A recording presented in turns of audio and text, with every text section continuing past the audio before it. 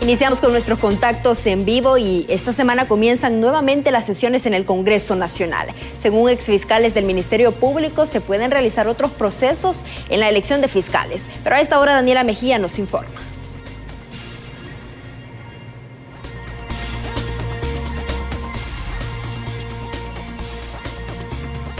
Muchas gracias. En efecto, en este momento en compañía de Nilia Ramos, quien es ex fiscal del Ministerio Público con quien dialogamos respecto a este proceso de elección de fiscales. Eh, ¿Se debe implementar algún tipo de, bueno, otras acciones encaminadas eh, a que se pueda dar como tal y culminar este proceso?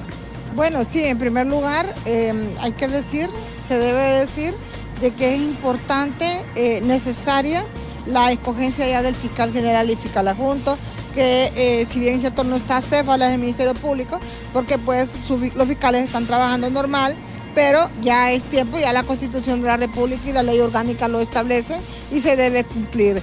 Eh, sí, yo pienso que debe de eh, entrar en consenso el Congreso Nacional y si ya no pueden con esta nómina que ha presentado tanto el Partido perdón, Libre como el PCH, pues que simplemente una tercería.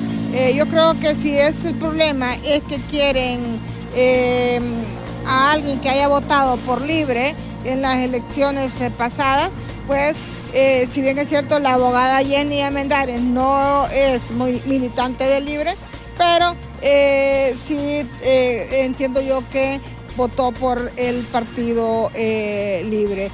yo creo que lo deben de implementar, pues denle vuelta trasladen a la abogada Jenny como fiscal general y al, y al abogado Mario Cabañas como fiscal adjunto. Pues son las, las, las personas o la nómina que prácticamente presentó eh, PCH, el Partido eh, Liberal y el Partido Nacionalista.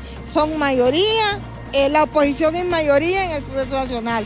¿Qué tiene que hacer la minoría? Que son los de libre, trasladarse, darle los votos y nombrar de una vez por todas al fiscal general y al fiscal adjunto y así cumplir con lo que la Constitución de la República establece. Es decir, que los diputados de libre deben ceder ya en, estas acciones. Sí, definitivamente. Si bien es cierto, eh, con el respeto que se merece el abogado Joel, no es la mejor persona eh, que escogió eh, la Junta Proponente. vamos en la escogencia de la Junta Proponente, no en lo que el Congreso Nacional con una dichosa comisión eh, eh, nombró, sino que eh, los mejores, los idóneos son Jenny Almendares y Marcio Cabañas. Si es así, pues ¿qué tiene que hacer el Partido Libre como minoría en el Congreso Nacional? Es ceder y pues trasladar votos para que se escoja de una vez por todas. Muchísimas gracias. Eh, declaraciones eh, de la ex fiscal del Ministerio Público, Nilia Ramos, quien considera en este proceso cabería una tercería o en este caso que ceda el Partido de Libertad y Refundación para apoyar la comisión de la oposición.